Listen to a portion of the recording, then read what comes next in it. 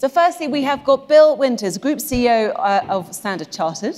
Bill, love to have you on the, the program. Thank you Thank so you much. Dr. Lucas Joppa, Chief Environmental Officer for Microsoft. Lucas, welcome. Thank it you. Is, it's a bit hot in here, I'm afraid, but we'll, we'll get there. and Ruth Porat, SVP and Chief Financial Officer from Alphabet and Google. Ruth, welcome. Thank you so much for your time.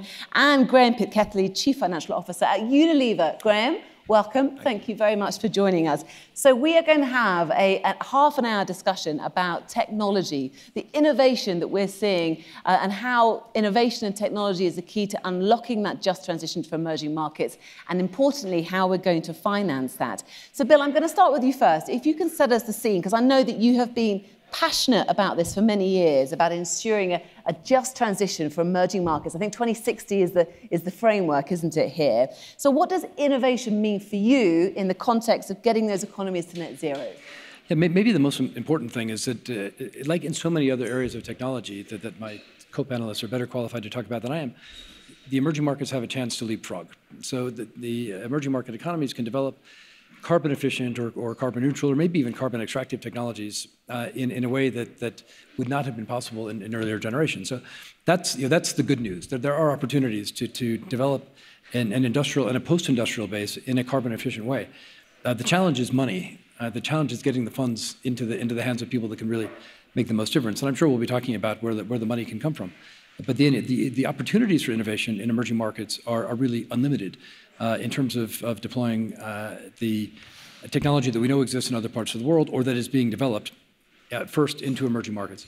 Uh, but there's a flip side of that as well, which is, which is a whole verification question. So, yeah, that there's there are the, the, the, biggest carbon sinks in the world today are in emerging markets. Uh, we know that they're in Latin America and Central Africa and and, and Southeast Asia, and the the, one of the very substantial impediments to getting money into the hands of, of the people who can actually protect those existing carbon sinks is verification.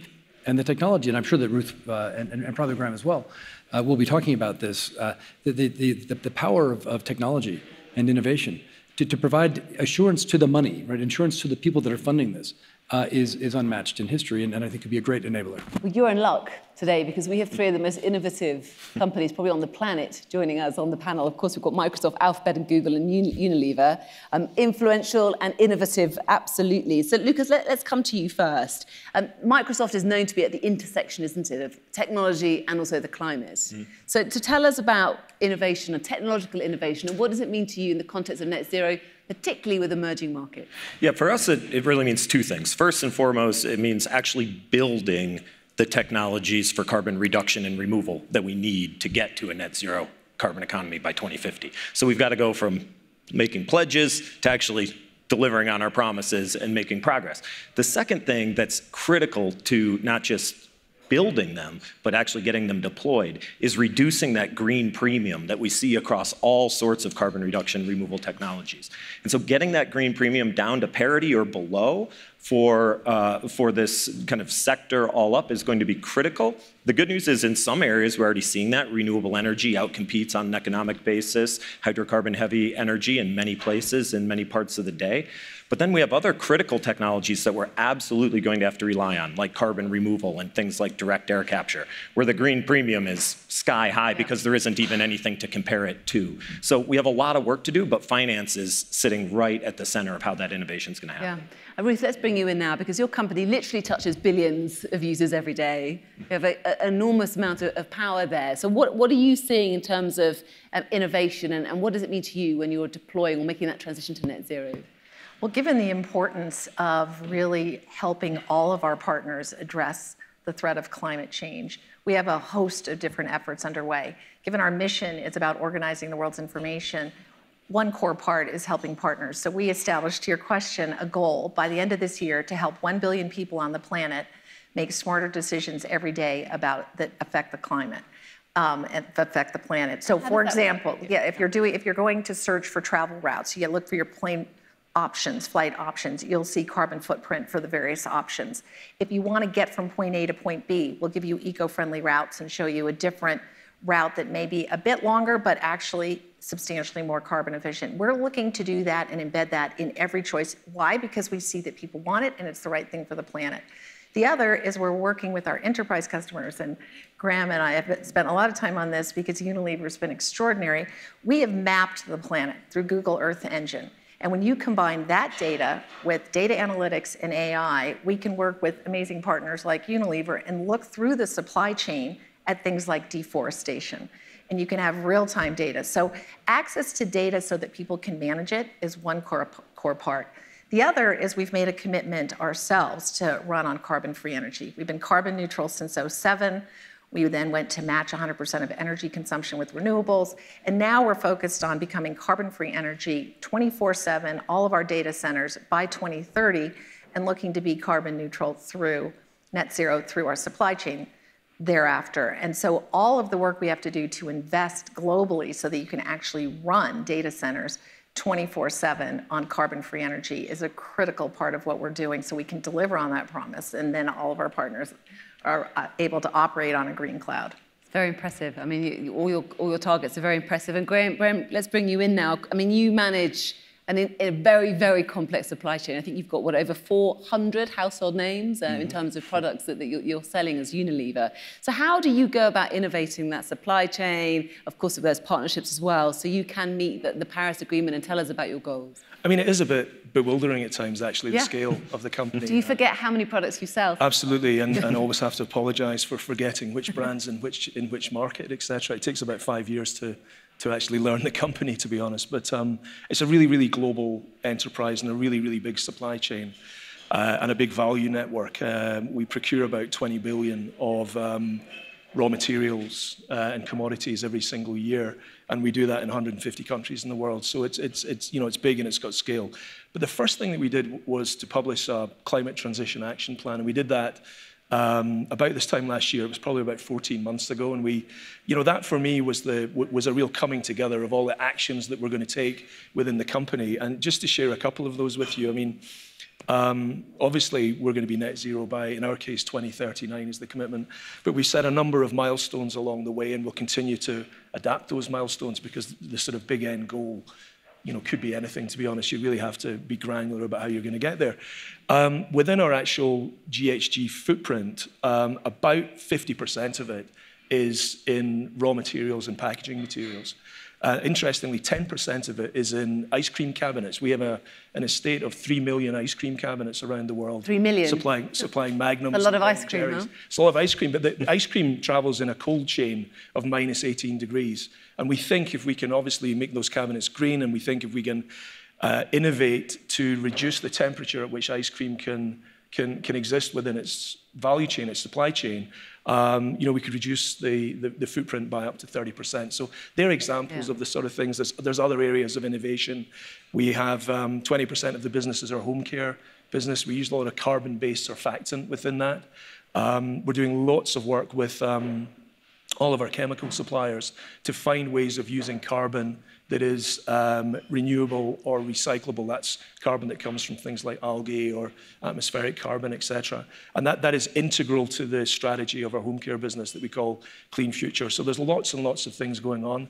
But um, actually, the, the, the, the scale of our supply chain and our value chain is one of the, it's not a complexity, it's actually an advantage, I think. Yep. Okay.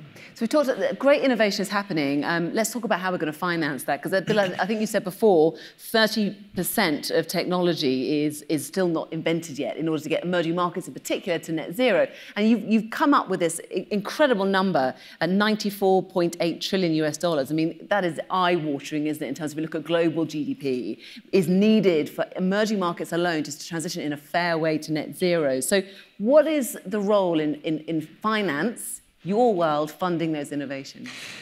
You know, we, we have to tackle this in, in a number of different ways. So the, uh, there are some projects that are economic in their own right. Uh, so, so, thankfully, much of the renewable, renewable power that's being produced today is economic, and it can be delivered in, in, relatively small scale or large scale in emerging economies. That's going full speed, and that's, uh, that's obviously a very good thing. Uh, there are some things that, that simply aren't financeable uh, on purely economic grounds, and uh, those typically involve some, some, complicated construction risks or substantial political risk, which is obviously very common in, uh, in many of the, the, markets where we operate, in developing markets of the world. It's an issue in some developed markets as well. The, uh, the, the gap between the amount of money that's ready to be invested in sustainability on the one hand, and the amount that's prepared to be invested in emerging markets is huge. So if you're in Europe, you can get about 80% of your sustainable, your renewable power investments financed through conventional means without any help from anybody other than the private sector. You get to sub-Saharan Africa, it's less than 10%. So the only way to, to crack that nut is to bring together the, the public sector and the private sector in a partnership that's both collaborative and highly leveraged. Uh, so we look to the World Bank, the uh, Asia Infrastructure Investment Bank, the Africa Development Bank, et cetera, to come together with, with banks, with capital markets, uh, with, in some cases, some philanthropic funds, although that's definitionally limited in terms of scale, and bring together projects that, uh, that are financeable at a, at, at, a local level. And I think with the, right, with the right cooperation, the money is there. It's just a matter of catalyzing it to get it into the right place. And uh, I think the public-private partnerships are going to be one key way to get there. And then investing, and this is the, rest of our panel will, will be very focused on, on the ways that we can scale technologies so that they actually become efficient for developing economies so that we don't need any kind of subsidy, financial or otherwise. But that's a, you know, that, that's a, a to be developed, I think, set of opportunities. Lucas, come in. Well, I think you know a lot of people ask me how do you you know how do you get started in, in your net zero journey? That's kind of the most popular question I get in Davos, and, and I'm always like, well, you just get started. And well, how do you get started? And generally, it means you start spending money, uh, and and you start looking at how you're going to meet your 2030 targets. We back in 2020 said we were going to be a carbon negative company, reduce our emissions by half or more, physically remove the rest from the atmosphere.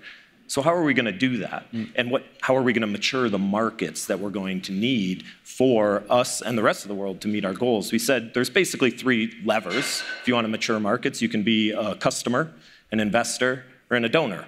And we said we're going to be all three. Yeah. So we because you have a, a, lot of cash on your balance sheet. Yeah, I, I, mean a little bit less after we buy all this carbon uh, removal, but. Um, you know, we, we have an internal carbon fee. It's a real fee, it's not a shadow fee. Yep. We actually collect this money as revenue, and that allows us, in 2020, it allowed us to become the largest purchaser of carbon removal in the history of the world. So that helps stimulate demand in the market. We also put together a billion dollar climate innovation fund that yep. lets us go out and invest in these technologies that aren't as mature as necessarily renewable energy and get those up and running at scale. Then we can become customers of those investments as well. And then we recognize that there are needs out there in the market that don't fit the current kind of, they need almost hero capital.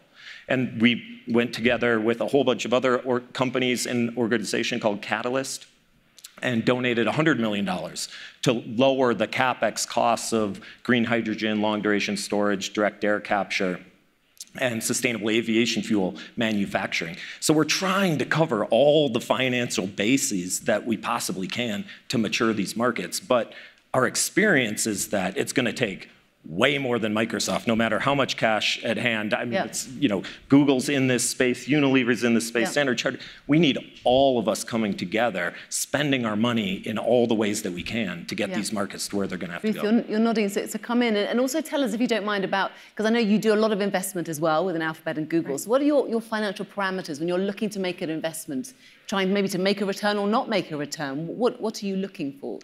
Well, I think that was very well stated because it does require all of us to do our part and more to actually move the needle in the speed needed given where the planet is today. One of the interesting points for me was when we made a commitment back in 2017 that we would match 100% of our energy consumption with renewables. We thought it would take us quite some time because that was not available. And what you would be, learn in kind of basic econ supply demand, if we indicate that much demand, it should increase price.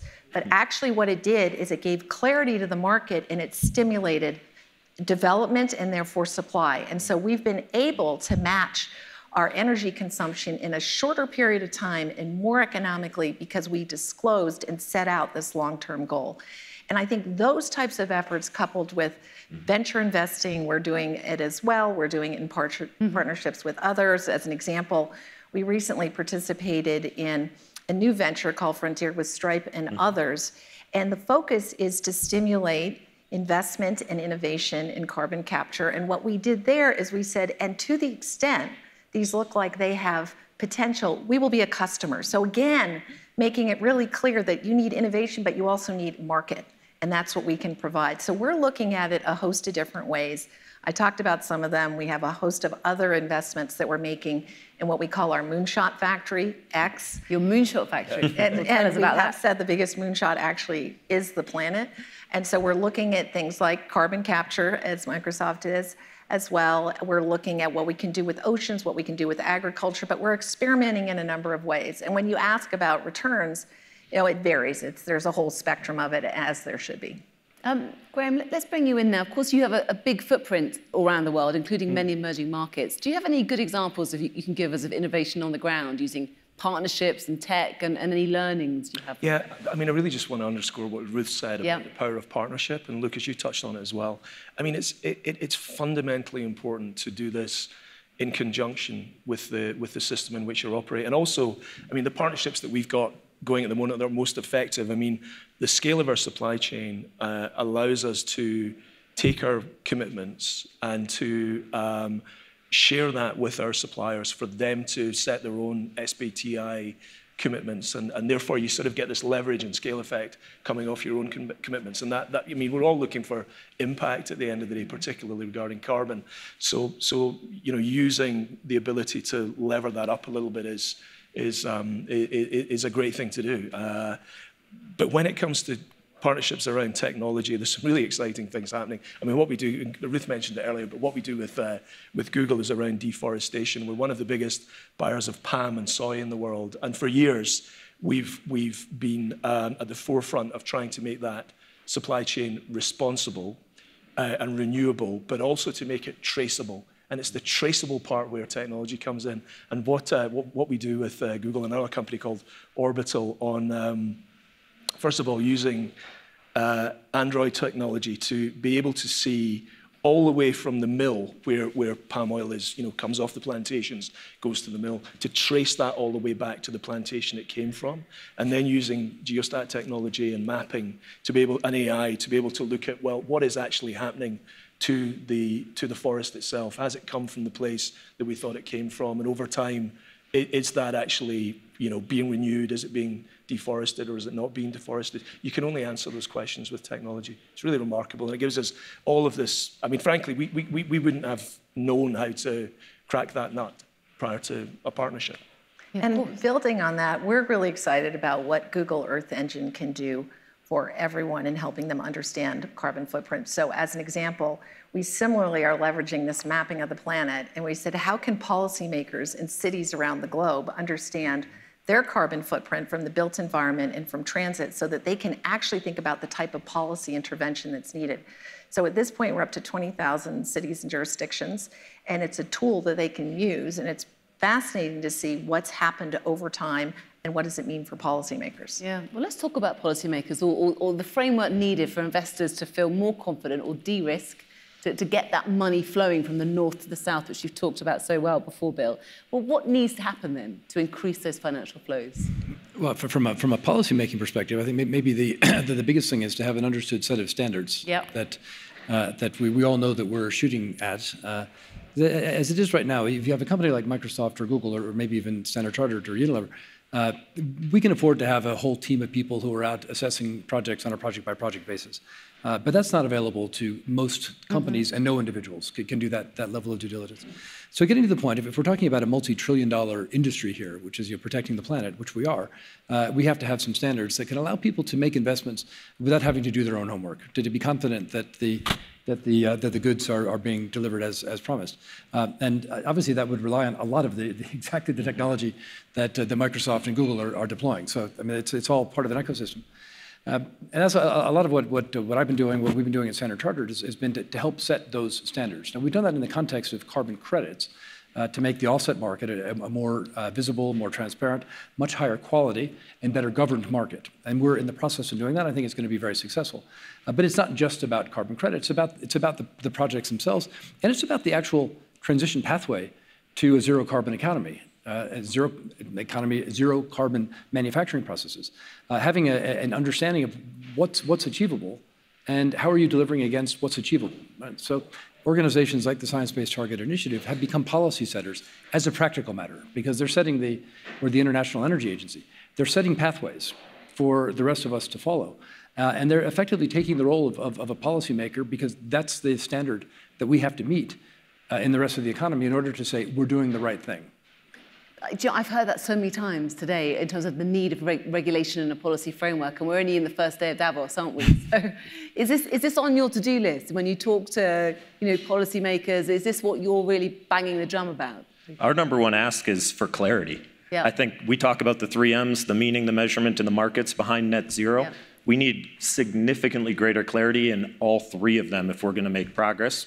We know what net zero means at an atmospheric global scale. We need to know what it means at an organizational scale, not in a voluntary way, but in a policy driven way. The measurement of carbon, how are we actually going to measure and then report out carbon? And then the markets, we need much more clarity. We happen to think that strong clear prices on carbon would be a fantastic way to drive some clarity on the market. But you know, in the US, things like 45Q to actually provide some subsidization for carbon removal technologies, et cetera, et cetera. We just need to put that clarity. Standards are a great way to start, and then let the private sector do what it does best okay. and start innovating. Ruth and Graeme, you're both CFOs as well, so this must be way up your list as well. Ruth, what, would you, what, you, what kind of conversations are you hoping to have in Davos? I completely agree. I think it's clarity and consistency and uh, therefore accountability.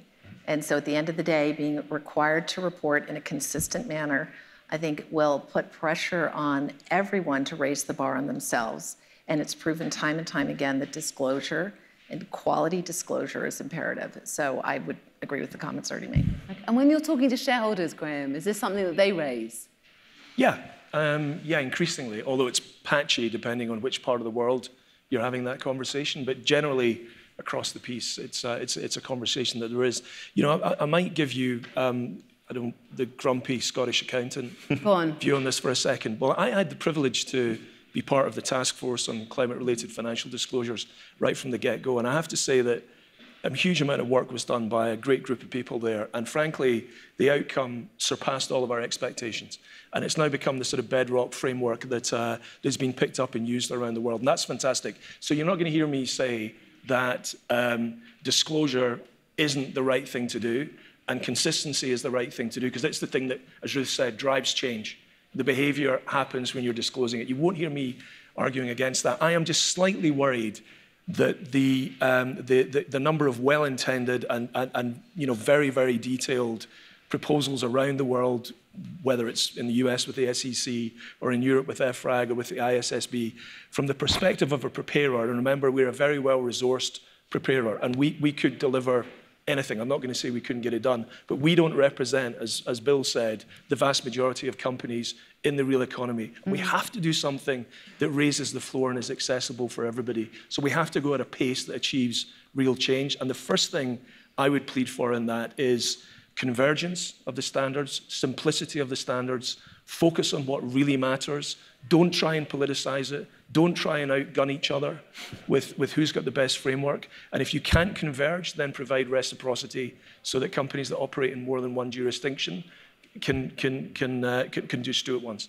Is that being heard? Are you being heard? Well, I've been talking about it all day, and I saw the chairs of all four of the big four today. So certainly, Fingers uh, I'm working on it. Um, I want to ask just a couple of quick questions, if you don't mind. I, I listened to a really interesting conversation this morning from a gentleman who's got the, the world's biggest, he was still a small company, but a drone company, who um, went to developed countries, they weren't interested, went to Rwanda and Ghana, they were very interested, and now he's transporting um, blood supplies and medical supplies by drones across Rwanda and in rural Ghana. Uh, and now he's developing it around, around the world. And it, of course, that's a leapfrog technology. And, and he said to me, you know, emerging markets don't think that they're a backwater. There's actually huge amounts of innovation and technology there. It's just about getting it to scale. Um, do you see them as, as fertile grounds for innovation? To you, Lucas and, and Ruth? Well, I yeah. absolutely. I mean, emerging economies represent one of the most obvious places for leapfrog technologies to yeah. actually happen. You know, leapfrog technologies are hard to conjure uh, uh, in any markets, um, and particularly there are barriers to doing so in emerging markets. But we get to see that opportunity of saying there isn't this status quo of how things are done that you have to fight against. So you just have to fight against how are we going to get it done and can this technology scale? I often find it's the, you know, it's, it's not the it's the scale part that, that we struggle with because of the resources in those, in those economies, whether that's the financing or the infrastructure. But at least it's not two things that you're fighting. You're not fighting the status quo and the scale. Yeah. And on the issue of um, commercializing, do you want to come in? Sorry, Ruth. I very much agree. Yeah. I think that if you go back many years, we would have not seen as much exported from emerging yeah. developing markets to the developed world. But just take something like payments. There was such an innovation in Bill's world and financial services and payments that the rest of the world really learned from that. And I would say that in many other areas, there's similarly a leapfrogging. Yeah. We made a billion dollar commitment, you know, across Africa last, I think it was last year. We built an AI center as well we're looking at extraordinary talent and the opportunity to think about what are specific problems that are early warnings for the rest of us mm-hmm. where we can really dive in and make a difference. You want to add, come in? Yeah, I, I, just, I think this, this is a really powerful point. point, and your example is an excellent one because I think, I think we have to remind ourselves that many times innovation is born out of necessity. Yeah. Mm-hmm. And the, the, reason that that drone, and we're, we're, dealing with a number of these guys distributing vaccines, uh, distributing drugs. Uh, the reason that, that they're there is because there was no practical way to get these, these goods and materials into the bush uh, or out into the, into the jungle. Uh, and drones are, are able to do that. So, so we've got a technology that, that is working brilliantly, right? absolutely brilliantly, uh, that will be applied back into, into the developed world, probably with different applications, uh, but the technology will have been refined in, in a market where it was born purely out of necessity, not, yeah. not out of a desire to be innovative or to make money. And it's great that developed markets are learning from developing, isn't it, once in a while. We are, we are, sadly running out of time for this section of the panel. So just to wrap, I just want to ask each and every one of you, if you don't mind, Graeme, I'll start with you. Um, the title of this, this session is obviously about um, a, a, just transition and financing innovation uh, to net zero. Of course, we've got our next COP meeting in Egypt, so it's very much towards emerging markets. So, what do you think needs to happen to get that just transition? Um, well, two or three things. In, a, in I, a nutshell. I think that I think the commitments that were made by uh, the developed world towards the developing world, just where we finished the last conversation. The, the first thing is they have to be met. It's kind of unacceptable that there are commitments get made that don't get met. That wouldn't happen in the corporate world, and it shouldn't happen in the, uh, in the political and government world. Um, and, and the second thing I'd say is, as we're coming out of the pandemic and enormous resources are being released into economies, if that can be done in a way that is, uh, in a green way, in the way that, that, that, that hastens the, the transition, that would be great as well. Put the two things together. Ruth, what would you say? I agree, and I'm going to take a slightly different um, tangent. When we look at the food security threat today, in part because of the war in Ukraine, in part because of climate change. It's a, it is a deep concern. It's a humanitarian issue that we all need to be focused on. We're also doing work in our Moonshot Factory on this topic. But I would say absolutely agree with the comments about funding and financing and a just transition in our role. But I also want to make sure that on the agenda is the question of food security and the linkage to this, mm. this pressing problem around climate action. Okay, thank you. Lucas? Ditto. The money has to be released, the financing has to actually happen. And then just going back to the, the last conversation, focusing that on the leapfrog technology, the leapfrog opportunities yeah. to say we don't have to go through the path to get where we need to go. We can just go there straight away. As long as the money's there, then we know we have the technology and innovation to get us there. And Bill? Uh, all, of, all of the above, but I, I would, I found in uh, Glasgow there was a, a, uh, a willingness to allow business to demonstrate what it can do. And I know you've heard from, from this panel some of the incredible things that, that business is doing to advance the cause. Uh, governments are doing a lot as well, but I, sometimes I think we look through each other, look past each other. Right. So taking uh, Egypt and then, uh, and then beyond as an opportunity to, to cement that partnership between business and the private sector, okay. business and the public sector would be my well, you, you've got the, the, bad luck that you're going to stay with me for the next 15 minutes. You, you stay pleasure. there, but it just gives me great pleasure to say thank you thank so you. much thank to. Graeme, Ruth, and thank Lucas. Thank you so. Big round of applause, please. Thank you very much.